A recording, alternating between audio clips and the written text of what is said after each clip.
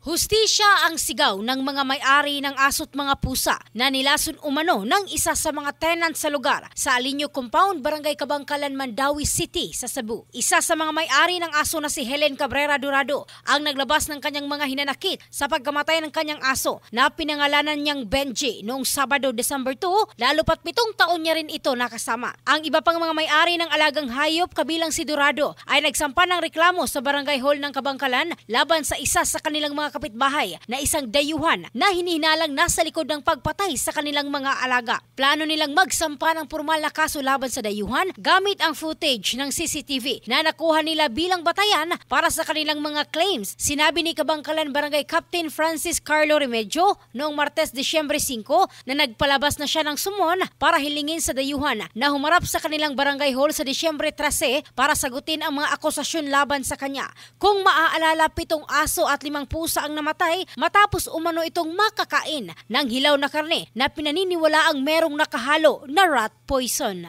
Ang bahaging ito ay hatid ng Drive Max Adult Herbal Capsule laking laging umaangat. In the heart of changing lives, ito si Michelle Craste ng Brigada News, Philippines, The Music and News Authority.